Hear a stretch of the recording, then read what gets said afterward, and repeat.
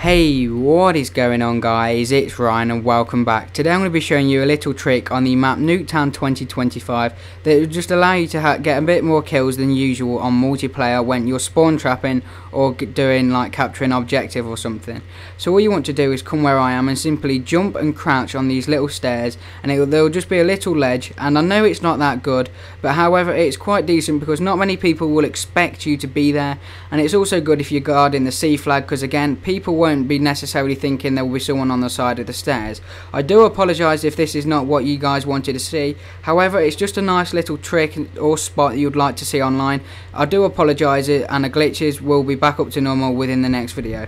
Hope you enjoyed it guys. Please be sure to show your support, give this video a thumbs up and also subscribe to my channel. Peace.